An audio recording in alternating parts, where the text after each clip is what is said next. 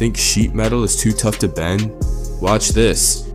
It all happens on a powerful press brake machine. The metal sheet is placed on the bed, and a punch tool presses it down with tons of force. Special dies underneath guide the bend to the exact angle needed. Different punches and dies can create sharp folds, smooth curves, or even complex shapes. Precision is key. Even a tiny mistake can ruin the whole sheet. One press and flat steel becomes a masterpiece of engineering. Ever wondered how steel rebars are made? It starts with a glowing hot steel billet pulled through massive rollers. Each pass stretches and shapes it into a long perfect rod. Then it's cooled with a blast of water so it hardens instantly. The result? A super strong steel bar ready for construction. But it doesn't stop there. The bars are cut to size in seconds. Finally, a special machine bends them with perfect angle. And just like that, rebar is ready to build the world. Why would anyone dip bolts in paint? What you're looking at isn't paint, it's a wax coating. This process keeps every tiny groove of the threads perfect while bolts sit in storage. It blocks humidity, dust, and microscopic rust from forming. And when you're ready to use the bolt, just peel the wax off. Underneath, a flawless, factory fresh surface. Aerospace and precision shops swear by this technology. Simple, cheap, genius. Would you try this in your garage?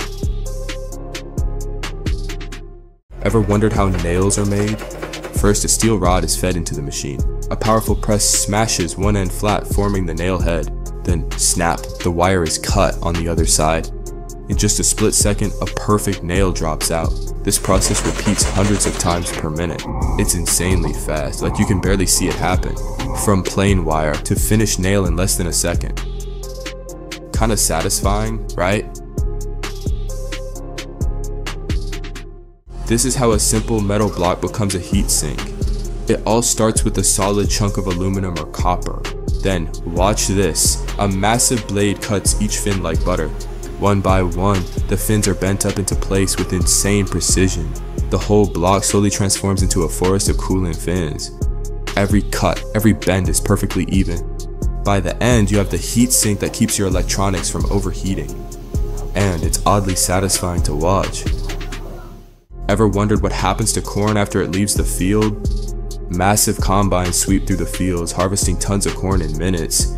The cobs are loaded onto trucks and taken to a special processing station. First, the husks are stripped off, leaving clean yellow cobs. Then, powerful machines cut the kernels off each cob with precision. At the end, you get perfectly clean cobs and a stream of golden kernels. Each grain is ready for cooking, snacks, or anything else. That's the journey of corn before it reaches your plate. Ever wondered how soft foam is actually made? It all starts with a mix of polyol and diisocyanate. Then workers add a splash of bright dye and the magic begins. They pour the liquid into a giant mold and it instantly starts expanding like bread dough. Once it sets, the block is moved onto a rotating platform. Stationary bandsaws slice it into perfect sheets as the platform spins. Each slice is smooth and oddly satisfying to watch. By the end, you have the PU foam that becomes mattresses, sofas, and car seats. And yes, this entire process takes just minutes. Ever wondered how walls stay warm in winter? Workers in white protective suits step into action. They spray a special foam, and it instantly starts swelling like bread in the oven. The plain wall suddenly starts to grow thicker, the foam spreads filling every tiny gap, in seconds, the room looks completely transformed. This is insulation in real time. Stronger, warmer, quieter. Spray foam isn't just cool to watch, it saves energy for years. Would you try this at your home? Ever wondered how old asphalt looks brand new again? Workers pour a thick black liquid right onto the pavement. Then they grab huge squeegees and spread it evenly like icing on a cake. Every crack and tiny hole gets filled as they move across the surface. This new layer shields the asphalt from UV rays, water, chemicals, and oil. It also gives the road that deep, rich black finish. When it dries, the whole lot looks completely refreshed. This process can add years to the life of the pavement. Ever wondered how millions of potatoes get sorted in seconds?